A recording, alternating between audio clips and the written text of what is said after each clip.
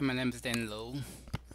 In this video, I'm going to show you how to read uh, a file in, the, in your local drive using JavaScript.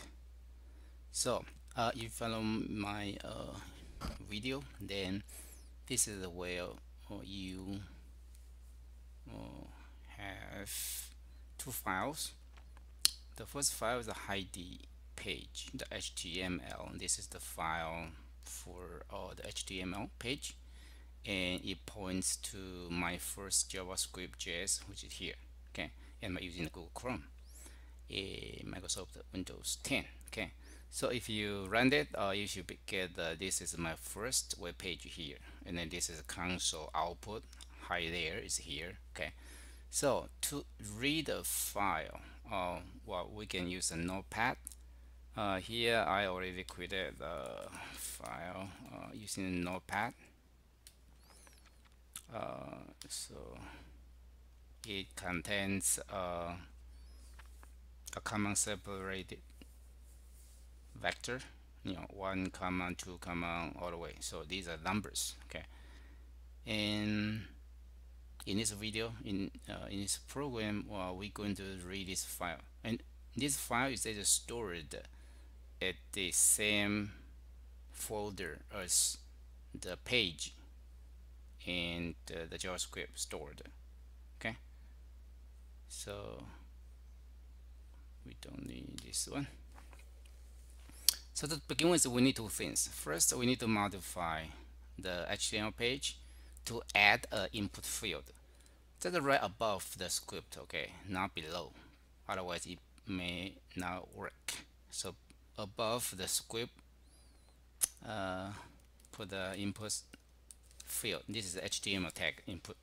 Okay. And the type set it to uh, file. And ID uh, here ID we set it to files. And then we'll put the name uh,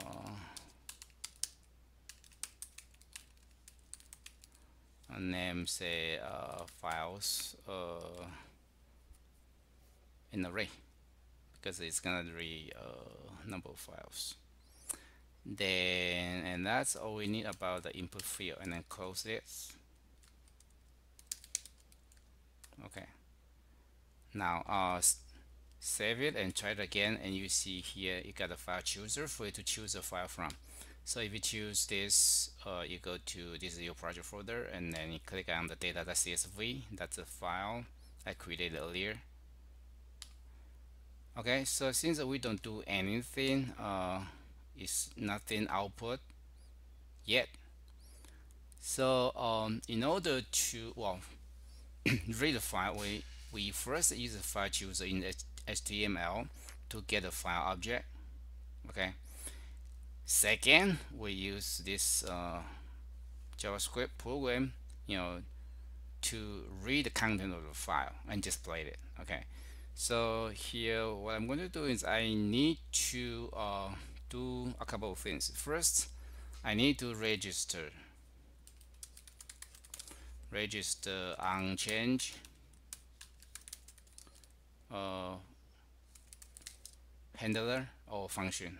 Okay so that means every time if I choose this okay if I done choosing and then this function will be called okay.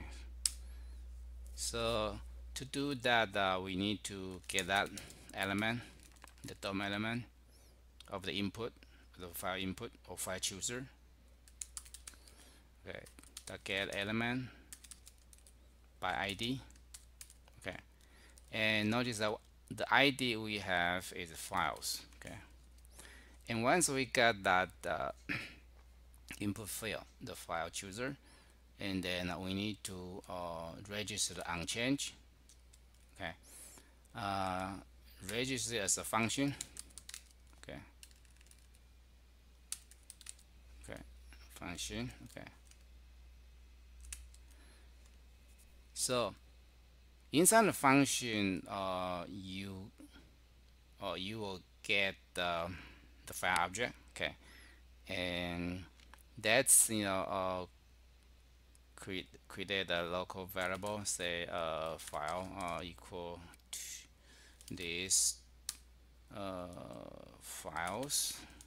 The first one okay. So get the first one and then uh, we just uh, output. Just test output to see what, what it is okay. And then uh, now we don't need sometimes that comment it out I'll remove it save it run it. Now if I choose the file data.csv okay. So you can see there's uh, output in the console that indicate that the file name is this. This is the uh, blob object okay that represent the file okay. Uh, a data structure that represent the file data.csv okay. We have size 25 whatever okay.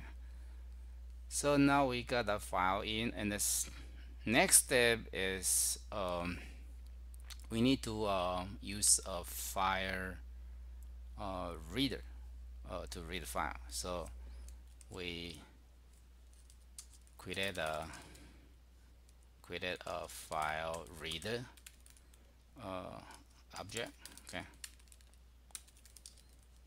So it's a uh, reader.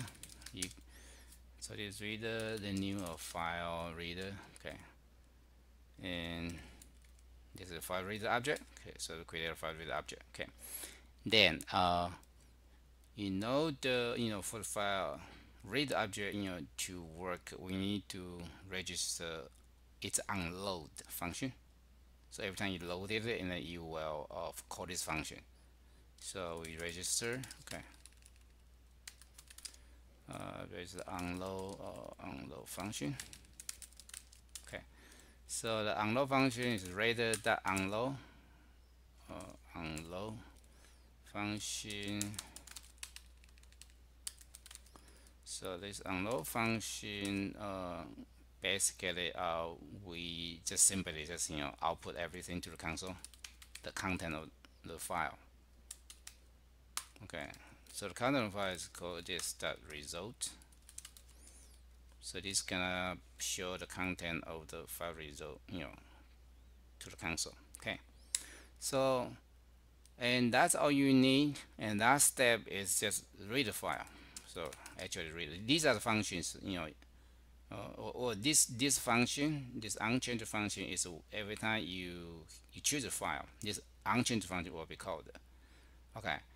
And now uh, in, at that moment you create a file reader object okay? But this onload function will not be called until you actually call it. So we just read the file here.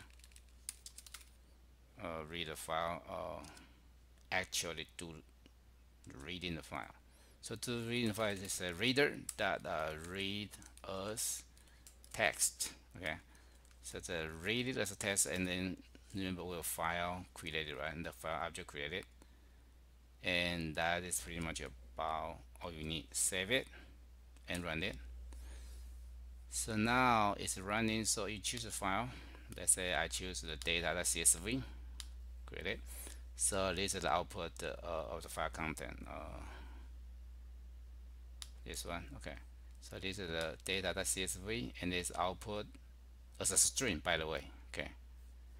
And then uh, you can uh, choose other file. So I have other file here let's say uh, ID page okay? You, you just need to output the content of ID page okay? So that's all I have and have fun. Thank you. Bye bye